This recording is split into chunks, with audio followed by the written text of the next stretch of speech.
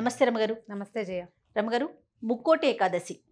ఈ రోజు యొక్క విశిష్టత దీన్నే మనం వైకుంఠ ఏకాదశి అని కూడా అంటుంటాం కదా? ధనుర్మాసంలో వచ్చే ఏకాదశి. ఇప్పుడు ధనుర్మాసం పన్నెండులో లేదనిపిస్తుంది మనకి. అవును.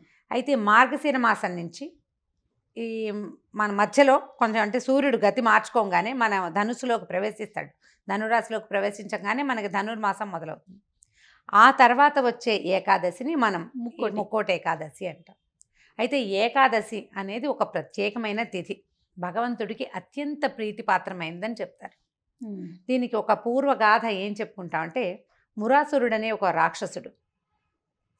ఆయన విష్ణుమూర్తి ఆయన యుద్ధం చేస్తున్నప్పుడు అతనితో యుద్ధం చేస్తున్నప్పుడు ఈ మురాసురుడు నీళ్ళలో దాక్కున్నాడు. విష్ణుమూర్తి అతనితో యుద్ధం చేసి చేసి చేసి చేసి చివరికి విసిగిపోయి ఆయన వెళ్ళి ఒక గుహలో నిద్రించాడట. నిద్రిస్తే నీళ్ళలో దాక్కున్న మురాసురుడు అప్పటిదాకా కనపడలా. స్వామి కనిపించల. అతను బయటికి వచ్చి ఈ గుహలోకి ప్రవేశించి స్వామివారి మీదకి ఖడ్గం ఎత్తాడు. విష్ణువు మీదకి ఖడ్గం ఎత్తేసరికల్లా నిద్రాముద్రాభిరాముడుగా ఉన్నటువంటి విష్ణుమూర్తి నుంచి ఆయన ఒక తేజస్సు ఆ కళ ఒక కన్యకా రూపంలో ఈ మురాసురుని సంహరించింది. తనలోంచి ఉద్భవించిన ఆ కళకి ఆయన ఏకాదశి అని నామధేయం చేశారు ఆ పేరు విష్ణుమూర్తి పెట్టాడు. ఆమె తిథులలో ఒకటయింది.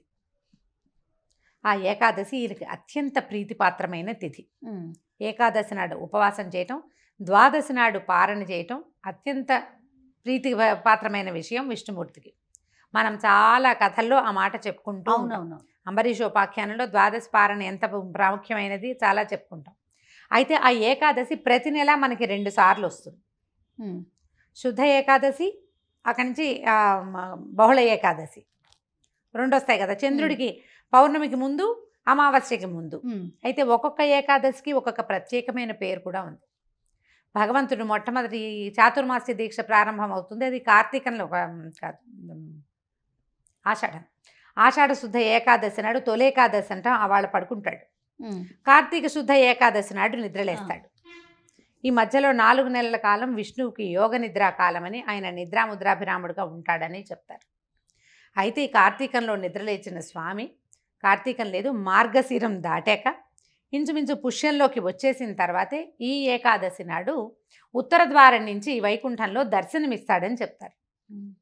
ఆయనకి ప్రీతిపాత్రమైన తిథి రోజునే ఆయన దర్శనమిస్తాడు ఆయన అది కూడా ఉత్తర- ద్వారం. ఉత్తర ద్వారం నుంచి ఆయన కనిపించినప్పుడు ముక్కోటి దేవతలు ఆయన్ని దర్శించడానికి అక్కడికి వస్తారు వైకుంఠంలో ఉత్తర ద్వారంలో ఉండటం వల్ల ఏమో వైకుంఠ ఏకాదశిని.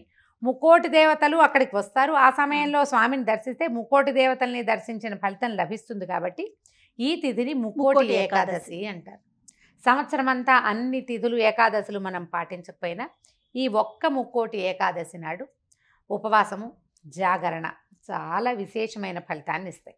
సాధారణంగా కూడా ఏకాదశి ఉపవాసాలు ఉంటారు ఆ రోజు ఆ రోజు రాత్రి జాగారం చేయాలని చెప్తారు. రాత్రి నిద్రపోకూడదు. ఈ మురాసురుడు ఈ నీటిలో నుంచి పారిపోయి అతను వాడు మరణించిన తర్వాత ఒక సహస్రాంశం వాడిలోది బియ్యంలో దాక్కున్నాడట. అందుకని అన్నం తినకూడదు అంటారు మురాసురుడి ప్రభావం మన మీద ఉంటుంది. ఏకాదశి నాడు అన్నం తింటే. అందుకనే ఆ రోజు బియ్యం గింజలు నోట్లో వేసుకోవడం అన్నం తినటం చేయకూడదు. ఉపవాసం చేస్తే మంచి ఫలితం లభిస్తుంది. ఒకవేళ మనం ఉండలేకపోయామనుకో ఈ వైకుంఠ ఏకాదశి నాడైనా కూడా మనం ఇది ఆ రోజున ఉపవాసం చేయటం స్వామి నామస్మరణతోటి జాగరణ చేసి ద్వాదశి నాడు పారణ చేస్తే అత్యద్భుతమైన ఫలితం లభిస్తుంది. ఏకాదశులు సంవత్సరం అంతా ఇవి రెండు పన్నెండులు ఇరవై నాలుగు మనకి వస్తూ వస్తాయి కదా. ఈ ఇరవై నాలుగిట్లలో ఒకటి చేసినా కూడా అన్నిటి ఫలితము లభిస్తుంది అని చెప్తారు. ఒకవేళ చేయగలిగితే చేయటం. అయితే దేవాలయాల్లో కొన్ని చోట్ల ఉత్తర ద్వార దర్శనం మనకి లభిస్తుంది. అవునవును. ఈవెన్ తిరుమలలో కూడా ఉత్తర ద్వార దర్శనం చాలా. విశేషంగా ఉంటుంది కదా. విశేషమైన దర్శనమే. చాలా దేవాలయాల్లో మనకు కనిపిస్తుంది అంటే అన్ని చోట్ల చేయలేకపోతారు. దేవాలయానికి ఉత్తర ద్వారం ఉండాలంటే దాని సంవిధానం పెద్దదిగా ఉండాలి ఈ ఉత్తర ద్వార సంవిధానం ఏర్పరిచి ఉండాలి అందులో. అట్లా ఏర్పరిచిన చోట ఆ స్వామిని కనుక దర్శనం చేస్తే వైకుంఠంలో నిలబడిన ముక్కోటి దేవతలని మనం ఒకేసారి చూసినట్టు మూడు కోట్ల మంది దేవతలతోటి పూర్తిగా సమావిష్టుడై ఉన్నటువంటి విష్ణువుని దర్శనం చేసిన ఫలితం లభిస్తుంది. మన శ్రీనగర్ కాలనీ దేవాలయాలు అయితే నవోదయ కాలనీ దాకా ఉంటాయి. అవునవును. ఆ ఇవి అన్నీ పూర్తిగా వచ్చేస్తూ ఉంటాయి లైన్లు ఎన్ని క్యూలు ఉంటాయో అక్కడ. ఎంతమంది ఉంటారో జనం. ఆ ఒక్కసారి ఒక్క గ్లాన్స్ అలా చూసినా కూడా విశేషమైన ఫలితం లభిస్తుంది. ఒకవేళ మనం ఉత్తర ద్వార దర్శనం చేయలేం. దేవాలయ దర్శనం చేయకపోతే ఎలా కుదురుతుంది? చేసి తీరాలి కదా అంటే చేసి తీరాలన్న నియమం లేదు. అవకాశం ఉంటే దర్శనం చేయండి. మనకి ఇప్పుడు సోషల్ మీడియాలో బోల్డ్ అవకాశాలు వచ్చినాయి. టీవీలో కనపడుతుంది సోషల్ మీడియాలో స్వామివారి ఉత్తర భద్రాద్రిలో ఉత్తర ద్వార దర్శనం ఒంటిమిట్ట రామాయణంలో ఉద్ర ఉత్తర ద్వార దర్శనం. తిరుమల నుంచి ప్రత్యక్ష ప్రసారం జరుగుతుంది. ఈ మూడు దర్శనాలు చేసేయండి చక్కగా. ఇది తలుచుకోండి.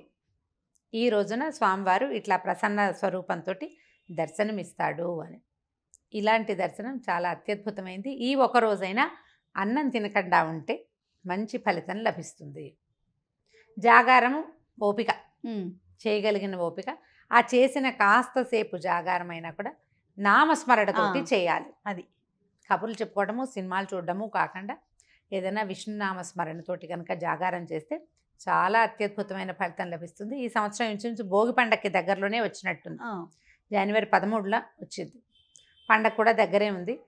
అవకాశం ఉంటే జాగారం కూడా చేసేసేయచ్చు. మర్నాడు పగలంతా పడుకోవాల్సి వస్తారు కానీ ఇవి దీనికి ఏకాదశికి ఒక నియమం ఏంటంటే ఏకాదశి నాటి రాత్రి జాగారం చేసిన వాళ్ళు ద్వాదశి పగలు నిద్రపోకూడదు. అవును. నిద్రపోతే ఫలితం. ఫలితం వస్తుంది అంటారు కదా. దీనికి మళ్ళీ నియమం ఏంటంటే దశమి నాటి రాత్రి అన్నం తినకూడదు. దశమి నాటి రాత్రి అభోజనం అంటే కొద్దిగా పలహారం చేసుకోవాలి. ఏకాదశి రోజంతా లేదు. ద్వాదశి నాడు ఉదయం భోజనం చేసేస్తాం. పారణ చేస్తామా? ద్వాదశి నాటి రాత్రి కూడా మనం భోజనం చేయకూడదు. అన్నం తినకూడదు. ఆ నియమంతో కనుక పాటించగలిగితే ఏ ముక్కోటి ఏకాదశి చేసిన ఫలితం లభిస్తుంది.